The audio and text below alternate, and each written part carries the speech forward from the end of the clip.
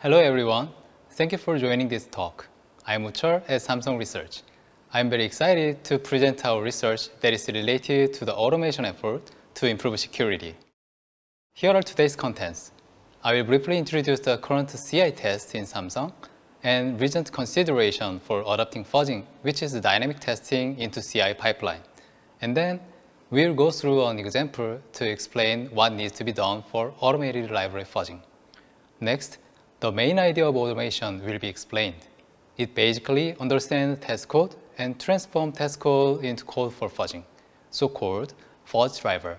Finally, I will show some interesting results and finish this talk.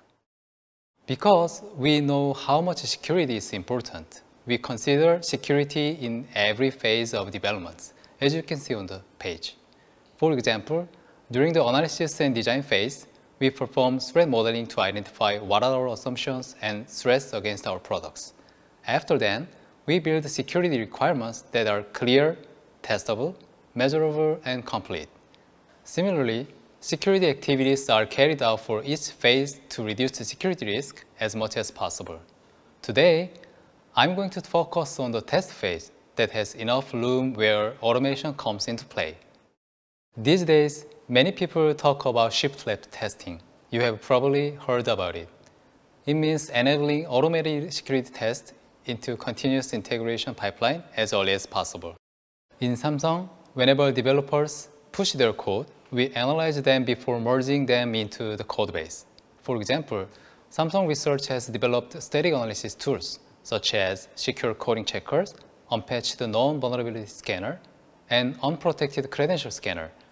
They detect bugs in the source code. Of course, all of these tools are integrated with our enterprise GitHub to work in the CI pipeline.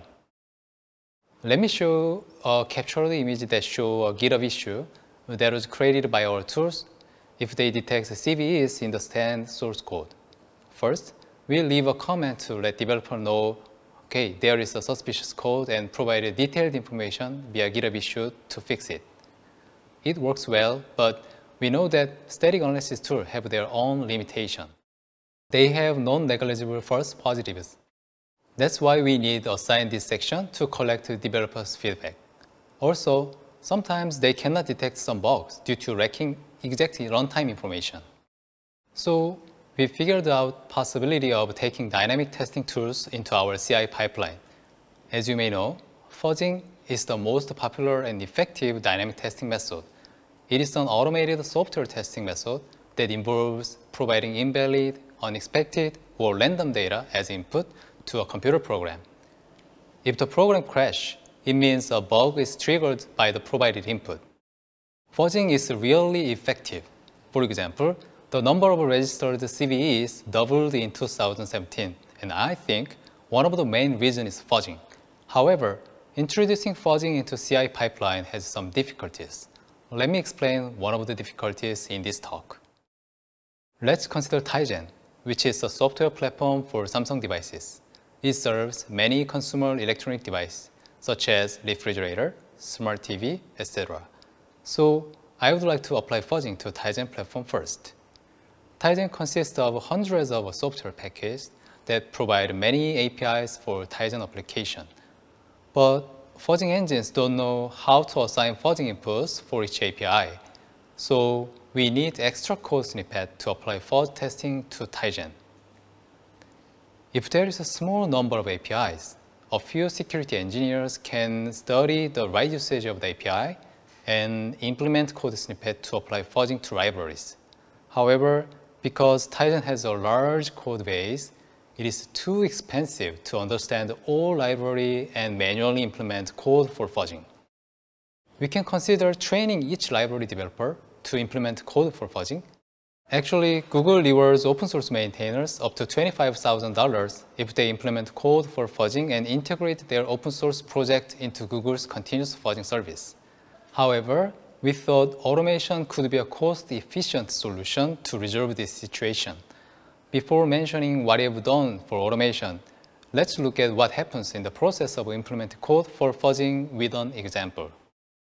For the example, I choose libaom, which is a reference codec for the AO Media Video 1 format. Honestly, I don't know much about this library, but our tool found a CVE in this library instead of me. I know, it's gonna sound weird, so let's go through this example together and see what should be done for implementing code for fuzzing. And then you can easily figure out what our automation tool did when fuzzing libaom. The very first thing to do is to implement a fuzz target. LLVM fuzzer test1 input is the name of the interface. So we have to fill the body of this interface for fuzzing. Because we have no idea about libaom, let's look at the test code on the right side and understand how to use target API. This API seems to be being tested in the test code. Here are some code snippets for preparation before calling our target API. Let's add this code snippet into our fuzz target. They look like some kind of initialization code, so let's use the for loop to initialize this array. The target API needs to be called, so let's add this statement. It looked like a resource management call before termination. Let's add the code snippet here. These are necessary headers to build our fuzz target. So let's add these headers to our fuzz driver. So um, I think a very basic skeleton code for fuzzing is ready. What we've done so far is basic analysis. First, identify setup and teardown code. Second, identify initialization code. Before assigning fuzz input to each variable, we need to analyze properties of the API. This is an API body. The API has two parameters, LUT, num points. By looking at the function body, the parameter LUT holds memory address and the value of num points is used as an input. So we can conclude that LUT is an output parameter and num points is an input parameter. Based on the analysis result, Let's assign fuzz input to num input. We have to modify our code according to the fuzz input value. Because we don't know the exact data type of LUT points, let's see the definition of it. It's a pointer to an array of two doubles, so we can assign separate fuzzing input values into LUT points.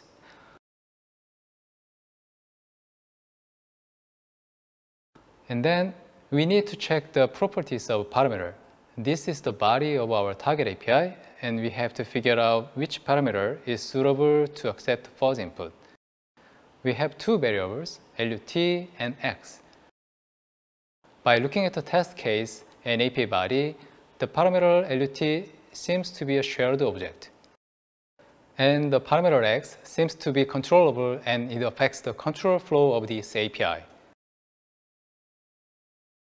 So we can conclude that only x is appropriate for fuzzing.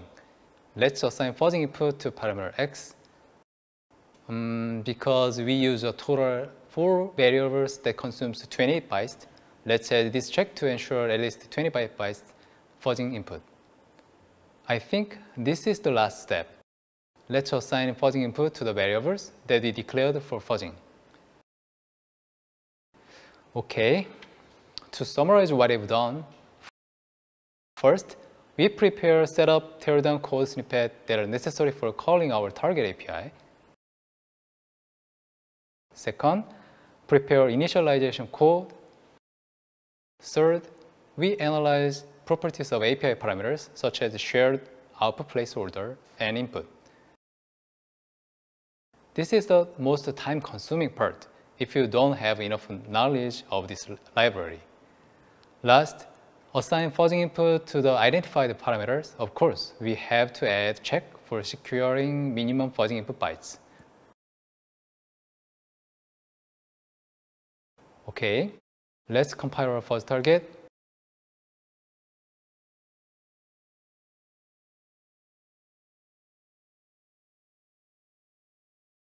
I just execute my fuzzer. So let's go back to my presentation slide and come back later.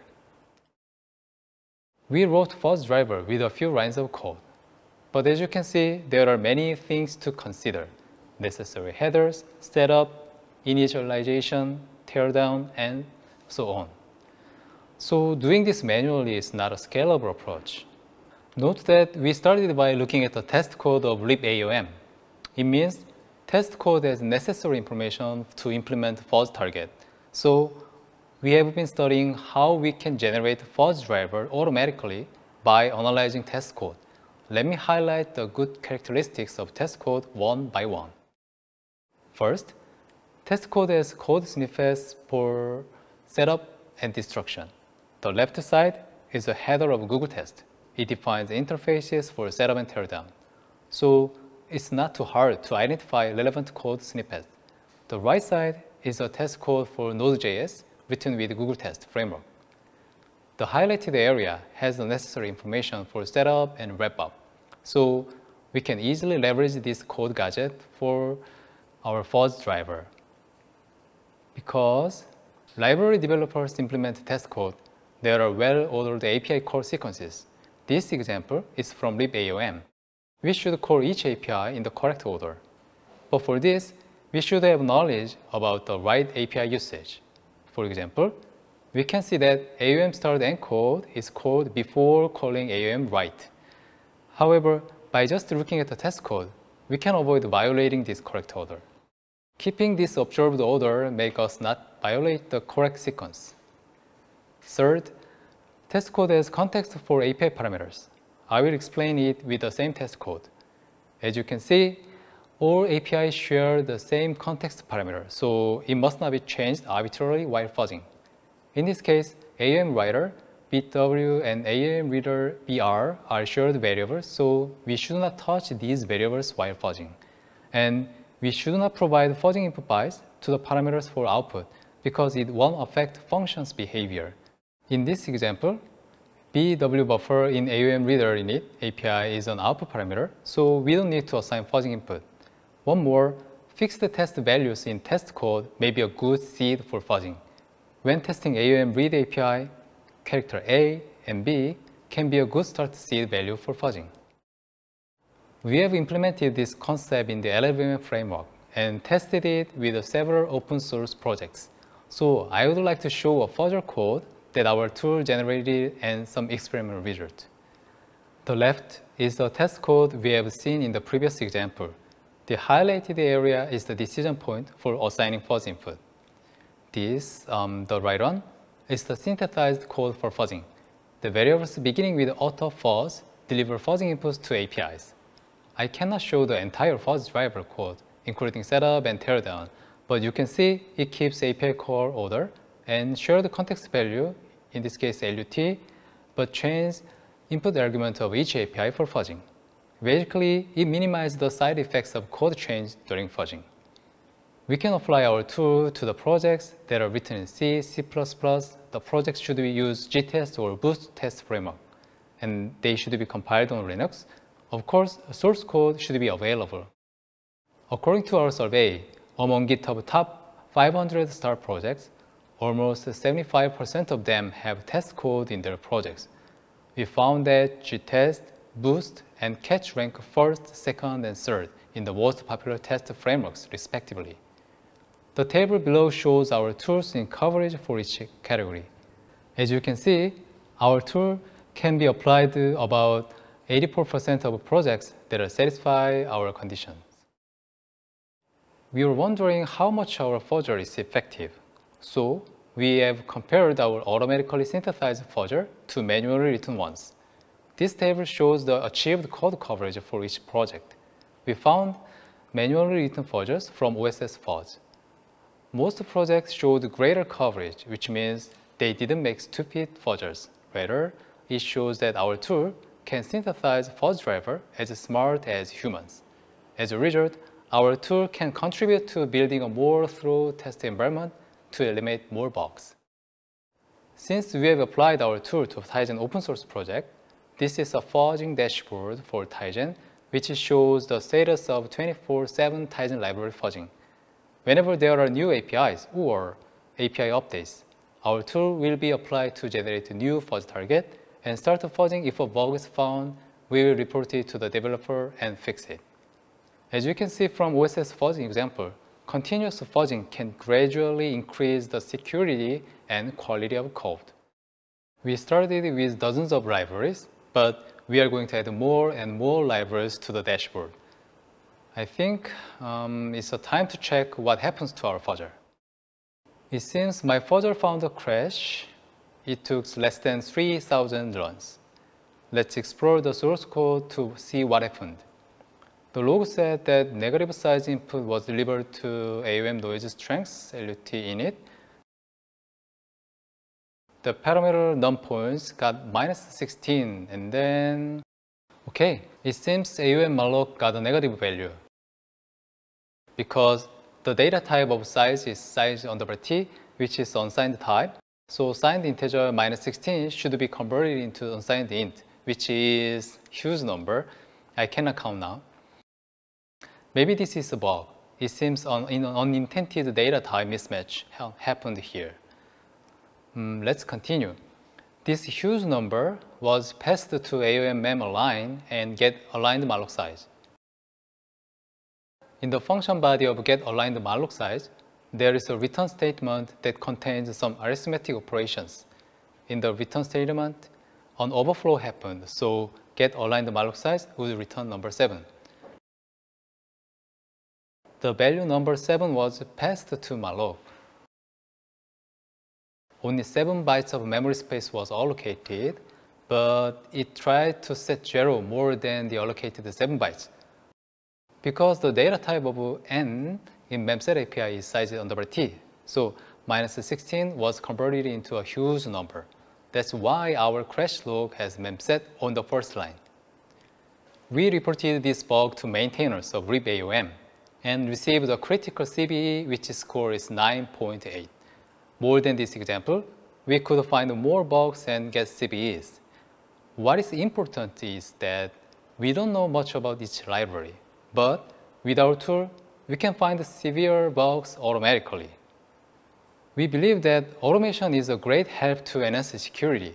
So to share the benefits of automation, we have released our projects that are related to both security and automation. W2E is a project that automatically detects cybersecurity events on Twitter.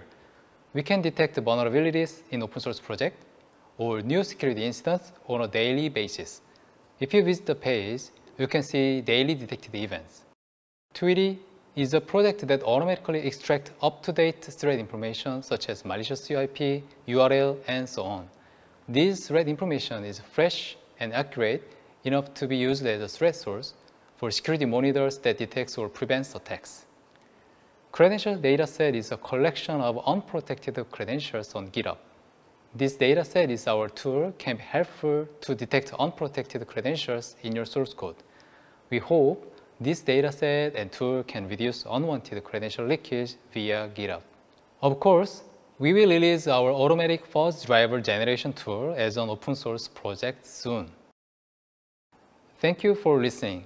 If you have any questions, please email me. Thank you again.